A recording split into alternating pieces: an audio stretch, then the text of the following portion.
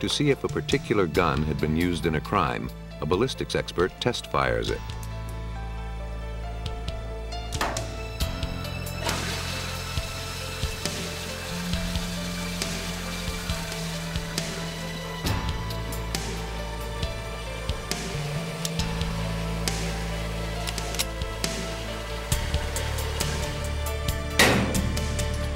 The signature markings on the test-fired bullet are then compared with markings on the bullet retrieved from the crime scene.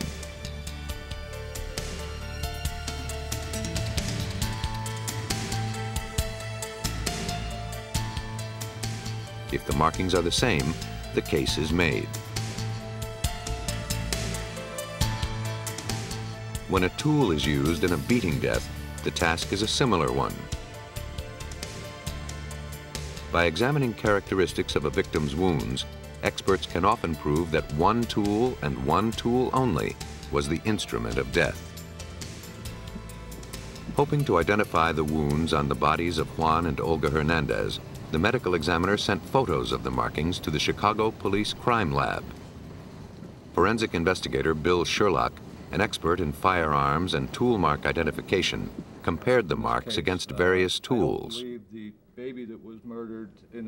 The wounds were consistent in size and shape, bruises left by a heavy object.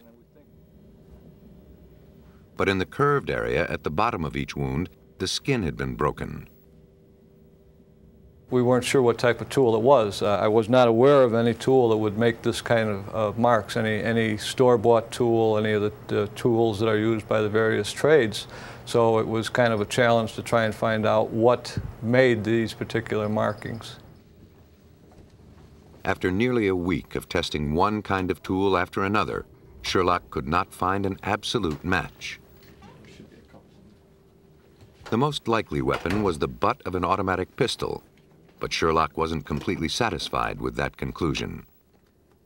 If used like a hammer, the butt of a pistol could have caused the bruises on the victim's skin but not the lacerations. The marks looked somewhat consistent with the, the uh, marks from a butt of a gun. Uh, we couldn't explain why we had the tearing of the skin and why we had the shapes that we had. A chance event provided Detective Zulli with a possible explanation. Off duty, he realized he held a likely answer in the palm of his hand. At home one day, I was cleaning my gun. And as I slid the magazine out of the gun, I was cleaning it and looking at it, and I thought, gee, that's kind of similar in, in shape to the, uh, to the, uh, the wounds. With its magazine removed, the butt of a semi-automatic pistol would have thinner, sharper edges, more capable of leaving the marks seen on the murder victims.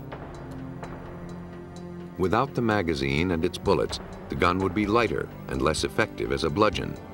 It would have taken longer to inflict fatal wounds. Sherlock tested his theory on a slab of modeling clay.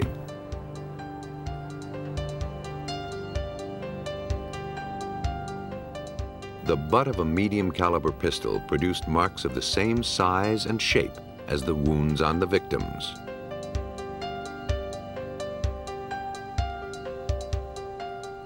So now we kind of knew that we were looking for, that, that a gun was used to do this, but we still didn't know what gun or, or where or anything else. That came later. Forensics had identified the type of weapon used to commit the crimes.